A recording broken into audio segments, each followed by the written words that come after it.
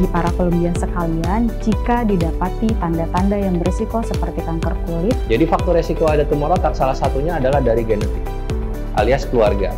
Indikasinya banyak banget ya, uh, mulai dari yang paling ringan sampai yang paling berat. Pengobatan patah tulang berdasarkan dengan seberapa jauh pergeseran tulang itu terjadi.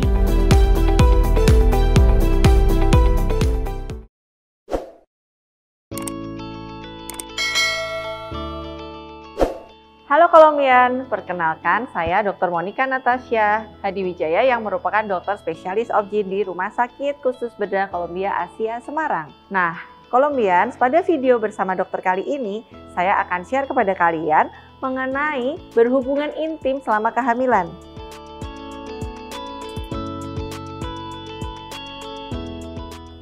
Nah, jadi, berhubungan saat hamil apakah aman atau tidak tergantung dari kondisi kehamilannya itu sendiri.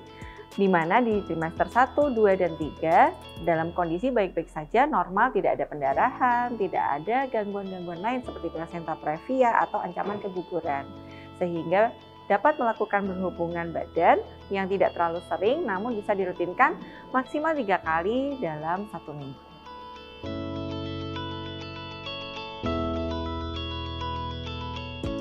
Ya, jadi sebetulnya waktu yang tepat untuk berhubungan badan selama hamil adalah di trimester 2. Mengapa di trimester 2? Karena di trimester 2 ini biasanya ibu-ibu hamil rasa mual, muntah, lemas sudah mulai berkurang sehingga sudah mulai fit badannya.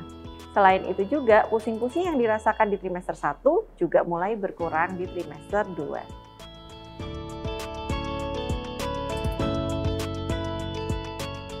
Manfaat berhubungan badan saat hamil. Yang pertama, gerakan-gerakan saat berhubungan seksual dapat menjadi seperti gerakan olahraga, sehingga ibu hamil dapat semakin fit dan semakin menjaga vitalitas bagi tubuhnya sendiri untuk persiapan persalinan nanti.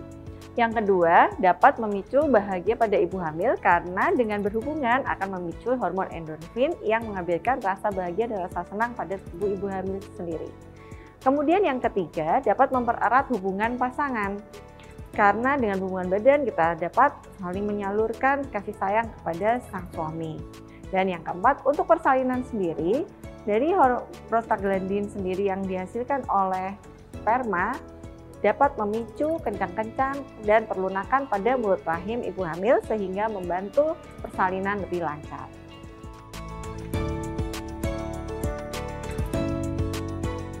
Saat berhubungan di saat kehamilan, kita harus memperhatikan yang pertama, posisi ibu hamil. Posisi ibu hamil harus senyaman mungkin bagi ibu itu sendiri sehingga perut tidak merasa tertekan.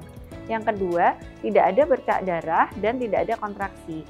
Jika terjadi bercak darah atau kontraksi, maka kegiatan berhubungan badan itu sendiri harus ditunda dulu ya.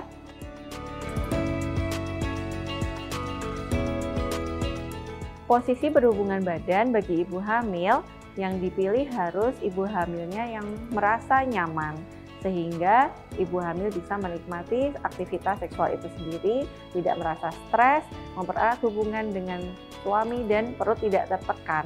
Sekian informasi mengenai berhubungan intim selama kehamilan Kusnia Kolombian. Tetap update informasi terkini bersama dokter, semoga bermanfaat dan salam sehat.